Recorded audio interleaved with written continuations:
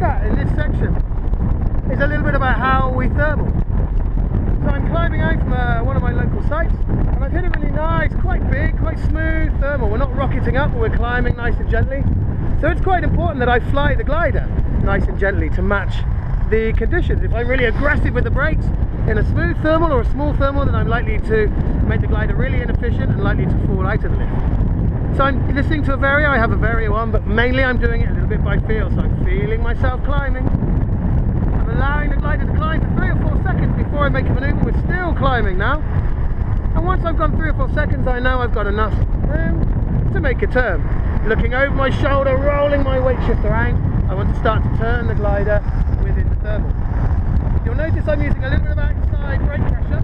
That'll help me to uh, control the of the thermal, the speed of the turn that I'm making within the thermal.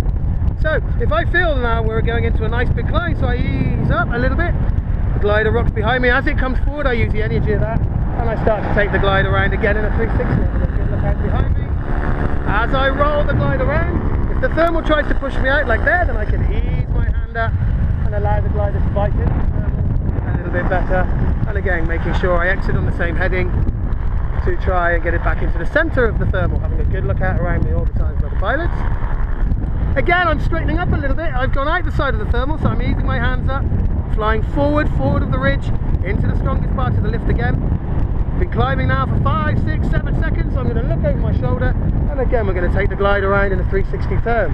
As I get the angular bank I want, I'm now using that outside brake to control the speed of my turn. If I want a faster turn, I ease off. If I want to slow the glider down a bit, I ease on a little bit more outside brake pressure, and again smoothly and evenly release the brake pressure. All good.